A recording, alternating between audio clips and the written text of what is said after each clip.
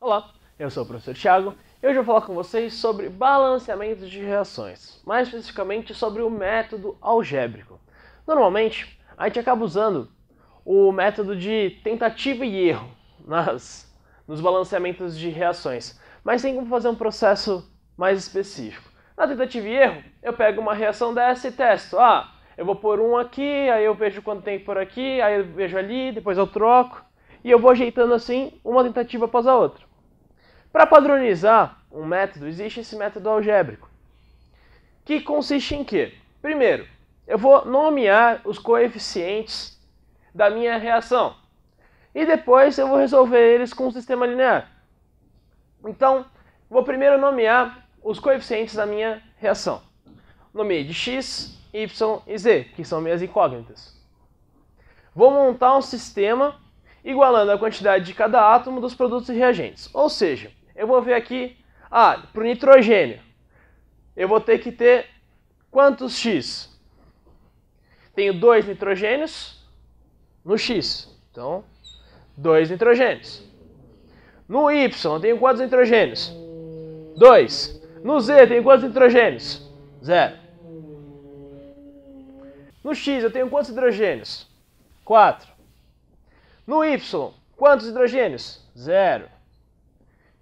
E no Z, quantos hidrogênios? 2. Agora, oxigênio. No X, vão ser 3. No Y, vai ser 1. E no Z, vai ser 1 também. Então, meu sistema está montado. 2x é igual a 2y mais 0z. 4x é igual a 0y mais 2z. 3x é igual a 1y mais 1z montei meu sistema, agora tem que resolver. Para resolver o sistema, vamos tirar tudo que é zero.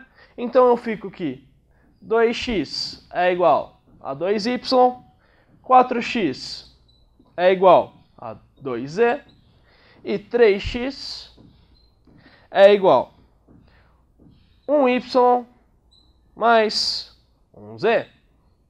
Então, vou cortar o 2 com 2, o 2 com 4 eu sei que x é igual a y e sei que 2x é igual a z. Tá, agora eu tenho que supor, baseado no que eu quero saber, um desses coeficientes. Então, sei lá, eu quero um mol do meu reagente e saber quantos mols dos meus produtos vão ter. Aí eu vou considerar o meu x igual a 1 se meu x é igual a 1, então meu y é igual a 1. Se meu x é igual a 1, então meu z é igual a 2. Meu sistema está resolvido. Agora a única coisa que falta é substituir os coeficientes encontrados. Então, eu vou substituir o x por 1. Vou substituir o y por 1. E vou substituir o z por 2. Sem ter que chutar nada. Então, ele é um método mais eficaz que o do tentativa e erro.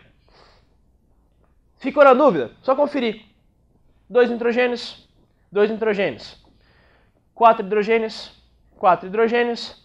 Três oxigênios, um mais dois oxigênios, três oxigênios. Esse foi o método algébrico. Muito obrigado e até a próxima. Thank you.